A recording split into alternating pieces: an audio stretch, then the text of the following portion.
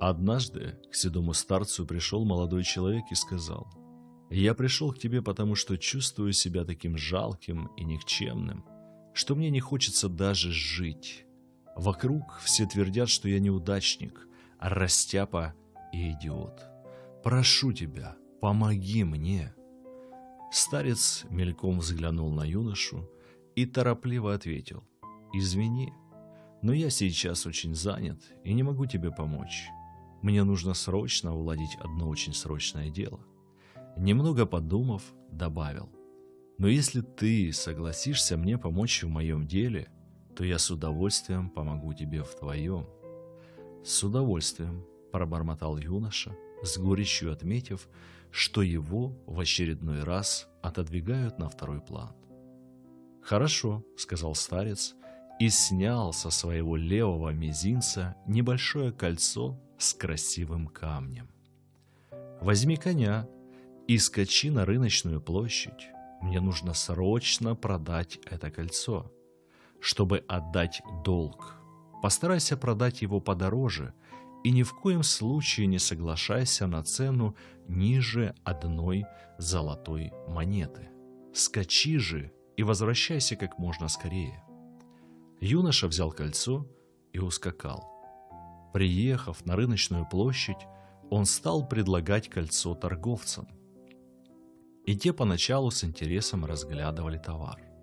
Но стоило им услышать о стоимости в одну золотую монету, как они тут же теряли кольцу всякий интерес.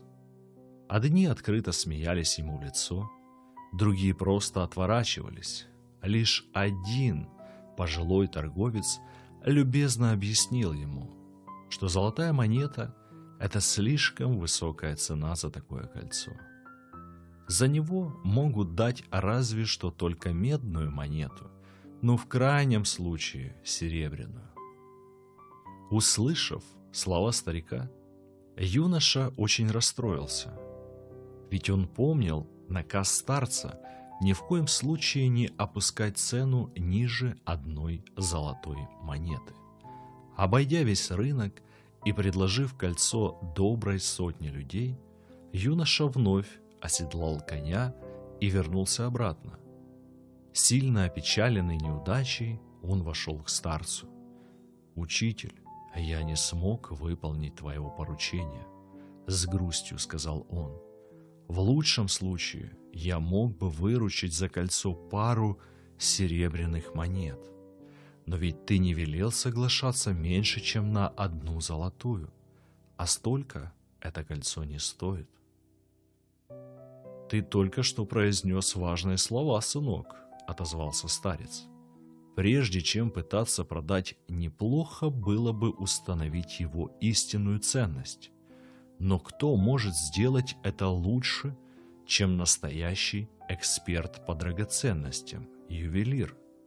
Скачи как ювелиру, да спроси у него, сколько он предложит нам за кольцо. Только чтобы он тебе не ответил, не продавай кольцо, а возвращайся ко мне. Юноша снова вскочил на коня и отправился к ювелиру. Ювелир долго рассматривал кольцо через лупу, потом взвесил его на маленьких весах и, наконец, обратился к юноше. «Передай хозяину, что сейчас я не могу отдать за него больше 58 золотых монет. Но если он даст мне время, я куплю кольцо за 70 монет». «70 монет?» Юноша радостно засмеялся, поблагодарил ювелира и во весь опор помчался назад. «Садись сюда», — сказал старец, выслушав оживленный рассказ молодого человека. «И знай, сынок, что ты и есть это самое кольцо, драгоценное и неповторимое. И оценить может тебя только истинный эксперт. Так зачем же ты ходишь по базару, ожидая, что это сделает первый встречный. Ценность жизни определяется тем, насколько ты ценишь себя. А это, в свою очередь, зависит от того, кем ты себя считаешь. Парадоксально, Но когда ты осознаешь свою истинную природу, не ограниченную ни именем, ни формой, ни условностями, жизнь начинает сиять подобно неземному сокровищу. Будьте такими, какие вы есть, и стремитесь совершенствовать себя в лучшую сторону. Не ищите признания людей, только Бог знает вам истинную ценность. Если вам понравилась эта притча, не забудьте подписаться на канал и написать слова благодарности в комментариях. Спасибо вам, друзья!